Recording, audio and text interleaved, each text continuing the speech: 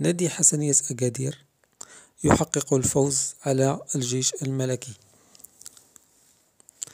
بعد ما كان الجيش الملكي متقدم في الشوط الأول على حسنية أكادير نادي حسنية أكادير كيدخل في الشوط الثاني وكيقلب الطاولة على نادي الجيش الملكي وكيفوز عليه بهدفين مقابل هدف واحد. وبهاد النتيجة كيكون هذا هو الفوز الثاني لنادي حسنية أكادير تحت قيادة سكيتيوي.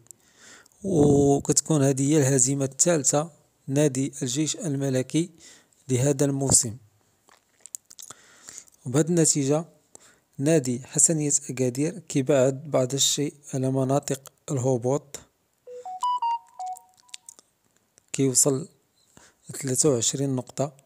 فيما كيتجمد رصيد ديال الجيش الملكي في سبعة وربعين نقطة بفارق نقطة واحدة عن نادي الوداد البيضاوي وبهاد النتيجة كتشتعل الصدارة من جديد على بعد نقطة ما بين المتصدر والوصيف.